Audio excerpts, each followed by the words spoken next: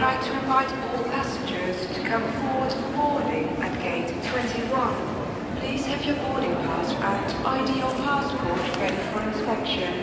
On behalf of Cebu Pacific... Oh, mga tropa tips, nandito tayo ngayon sa Cebu International Airport.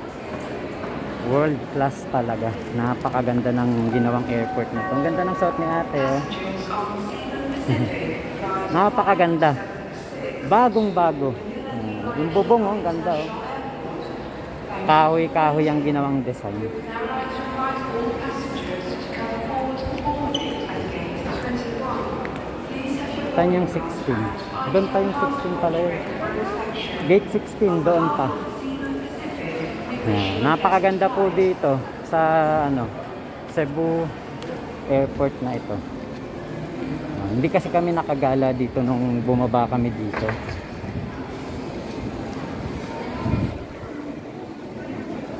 Tapos nandyan, may mga bilihan ng pasalubong.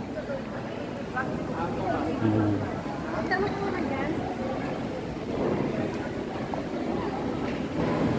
Hello po. Saan po yung gate 16?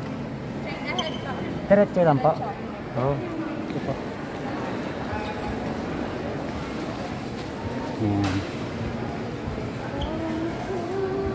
Lapit na kaming sumakay ng eroplano. Pauwi ng Davao. At isang masayang alaala ang iiwanan namin dito sa ano. Daladala pala namin. Di pala namin iiwanan. Daladala namin. Papunta ng pabalik ng bahay. Kasi, ang saya kasi, bukod sa kasama na namin si Yorme, na dami kong mga nakilala, ang dami kong mga naging kaibigan, tapos si Joy, eh, syempre, yung magandang alaala, yung nakasama namin, yung pamilya ni Ate Kiko Chan, yung kapatid niya,